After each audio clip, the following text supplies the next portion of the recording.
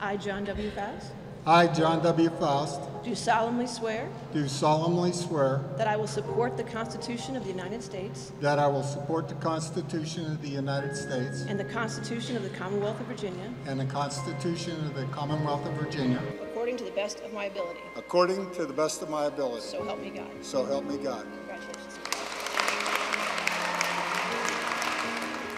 Good afternoon, everyone.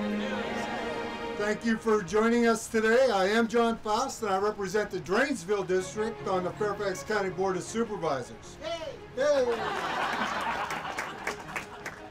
This day's been a long time coming. I, I was thinking this morning that I've been on the Board of Supervisors for 15 years.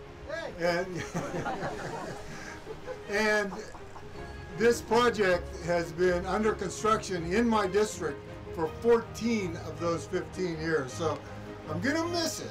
Uh, I think I, I speak for all of us in saying how much we, we certainly will miss you um, and thanking you for your leadership and things that you have been able to accomplish on this board. And, and you know, we talked earlier about legacy. Certainly, uh, what you've done with economic initiatives and affordable housing, uh, particularly over the last two and a half years during some of the toughest times to govern that I think any of us can ever imagine, um, have been remarkable.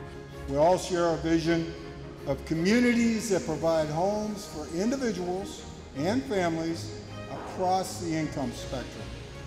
Doing nothing in McLean is not an option. Uh, either we revitalize the business district uh, or it'll continue to deteriorate and provide fewer and fewer community amenities. We see it year after year. What I am most excited about is that we now have an awesome multi-generational campus right here in McLean.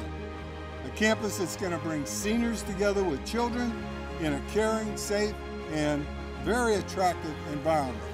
And so, uh, thank you for your outstanding dedication to the people of Dranesville District and the entire county, and, and how you've made Dranesville District a, a much better place to live thanks to your leadership. So, we will certainly miss you. You know, it has been an absolute honor to serve on this board for the past 15 years, uh, particularly with the current board. I mean, I, I, I just love it.